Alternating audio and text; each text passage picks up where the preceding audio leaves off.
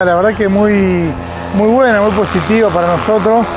Eh, tuvimos más de 50 pilotos volando, gente desde Bahía Blanca, Santa Fe, Rosario, Buenos Aires. Bueno, eh, logramos el objetivo que era conseguir que todo el mundo vea y conozca lo que es el cementerio de los indios acá en Villa Quillinzo, este lugar y este predio fantástico, rodeado del embalse Río Tercero, a solo 5 kilómetros de, de la cruz, así que la verdad que estuvo muy pero muy bueno, ayer contamos con casi 500 personas, 250 autos, eh, fue algo muy muy lindo, superó todas nuestras expectativas, eh, la federación quedó muy conforme, tuvimos la visita de siete intendentes, el legislador, bueno, la agencia Córdoba Turismo, que agradezco, a la agencia Darío Capitán y al gobernador Martín Yerllora por acompañarnos y visibilizar un poquito las ganas que este grupo de trabajo le pone eh, para trabajar y visibilizar un lugar pequeño pero con un entorno gigantesco, eh, natural que debe potenciarse. Eh, esto que estás marcando no es una cuestión menor, porque cuando uno hace y además es tenido en cuenta, dan ganas de unificar criterios. Sí, por supuesto, y eso, eso es lo lindo de compartir con colegas en los cuales trabajamos ideas, digamos, ¿no? Decir, che, ayer veía, los chicos veían sus localidades de este lado y siempre es ponerse un poquito en el, lugar del otro. Y, reitero, eh, una localidad pequeña, pero con un marco natural gigantesco. Entonces, visibilizarlo nos da a nosotros la posibilidad de mostrar nuestra gestión, de que las autoridades provinciales vean que necesitamos infraestructura, el asfalto, por ejemplo, solo 5 kilómetros de asfalto nos unen de la Cruz hasta el río Quillinzo imagínate que lo que sería esto con más infraestructura, ¿no?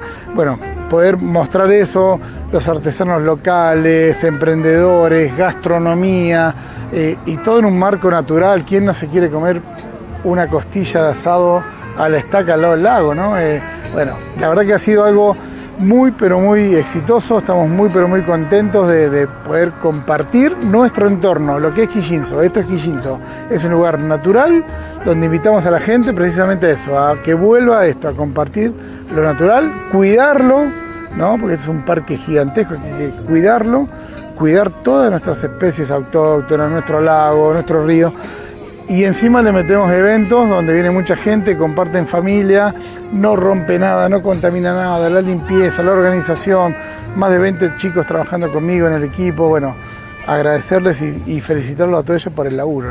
Tener de lado y la posibilidad de mostrar estos eventos a las autoridades de la provincia de Córdoba eh, bueno, me imagino que es incluso también estar más cerca del objetivo. ¿Cuánto falta, digo, para esos 5 kilómetros que marcás y subrayás en cada entrevista de asfalto?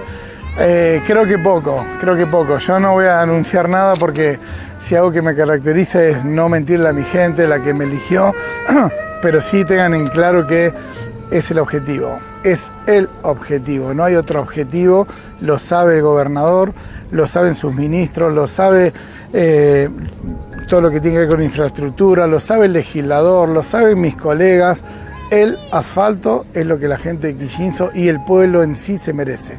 Entonces yo voy a dar hasta la última gota de sangre mía para que el asfalto esté y estoy convencido que eso va a estar. Ya hubo charlas, hubo reuniones, hay proyectos hay ganas y hay decisión política, así que yo creo que eh, no va a faltar mucho para, lograr ese sueño que todos merecemos y que le va a dar a la región, no solo a Quillinzo, sino a la región, eh, otra, otra, otra cosa, ¿no? Mostrar esto de que un pueblo de los... Hay solo cuatro pueblos en, el Valle Calamuchita que no se llega por asfalto.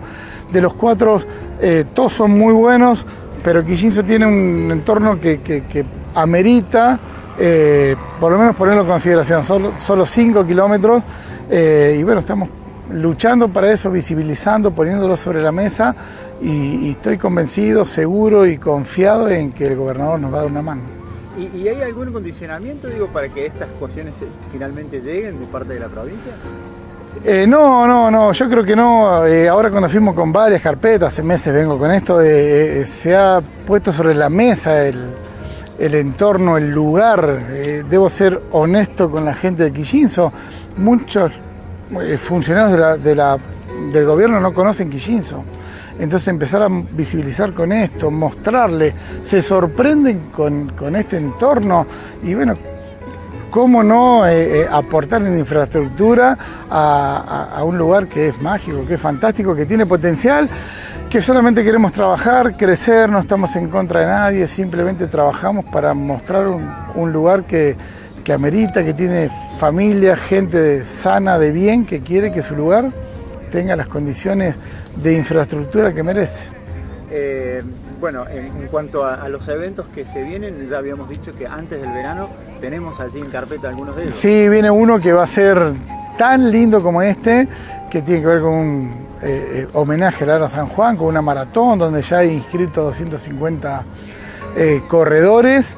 Así que bueno, eso va a ser sobre el finales de octubre y ya vamos a estar dando, digamos, como apertura de la temporada, donde van a ver un Quillinzo totalmente renovado y a pulmón. Créanme que esto lo hacemos a pulmón, nos cuesta sangre, sudor y lágrima hacer un banner, sangre, sudor y lágrima hacer un cartel, eh, traer fotógrafos, traer eh, redes, la verdad que lo hacemos eh, con el corazón en la mano realmente, pero lo hacemos con mucha felicidad, la gente eso lo observa, lo ve así que bueno, creo que los méritos y el sacrificio van a, van a dar su fruto para que Quillín en el lugar que tiene que estar.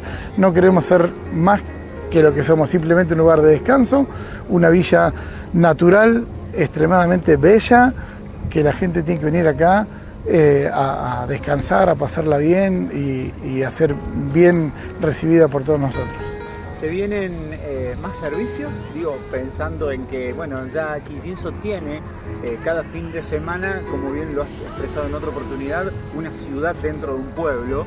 Eh, y ahora el desafío será proveer de la mayor cantidad de servicios que esa gente necesita. Exactamente, estamos ahora planificando, proyectando lo que tiene que ver con un desarrollo comercial, ¿no? Para que, y ver cómo lo hacemos para que sea estacional, porque en el invierno es complicado, pero lograr que, todos los emprendedores o comerciantes también les sea rentable porque eh, eh, necesitan también eh, ganar en, sus ventas, pero necesitamos lograr que la gente que viene a Quillinzo pueda consumir desde gastronomía, servicios, eventos, pero necesita llegar acá y compartir y gastar. La verdad que estos lugares se prestan para eso y el pueblo va entendiendo y va educándose y va sabiendo que cada vecino que nos visita, cada visitante que pasa por acá, o yo estaba charlando con gente de Segunda Usina, eh, Río Cuarto,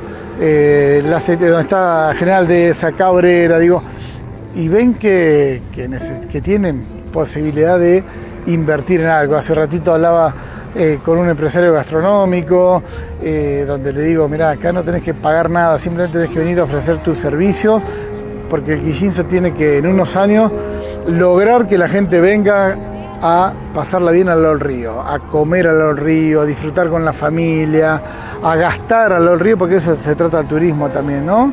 De que la gente pueda disfrutar, eh, distenderse y consumir en un lugar que necesita esa economía.